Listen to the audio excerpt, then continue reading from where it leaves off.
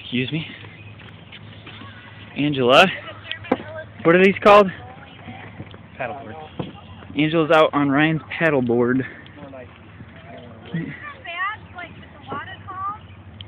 But how do people do this like out on the ocean with the waves? I don't know, but people surf with it and drag that paddle as a steer. So are you you're racing on like Michigan? Is that what I don't know exactly, but I think it might be. You need to get out here, Ryan. She can just pull it right up alongside if she wants to. Can you? Good job, baby.